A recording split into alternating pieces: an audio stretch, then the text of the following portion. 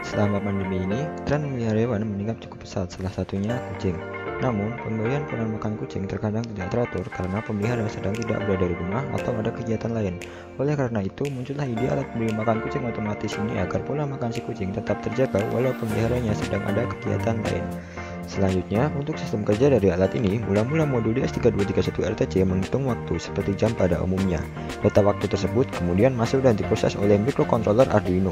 Microcontroller inilah yang memutuskan apabila data waktu sesuai dengan jadwal pemberian pakan yang telah terprogram, maka ia akan memerintahkan motor servo untuk bergerak sehingga gerbang pakan terbuka.